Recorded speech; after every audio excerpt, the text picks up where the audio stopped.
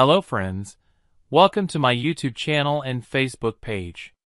Today, I will show you how to change WAN IP in a TP-Link router model Archer C20.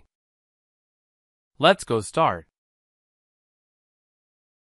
Open any browser and type router default IP or tplinkwifi net into the address bar.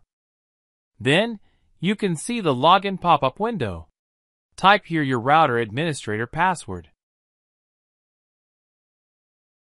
You can click Network to configure your router WAN. Select your connection type. I am choosing static IP. Put the IP address of the Internet Service Provider.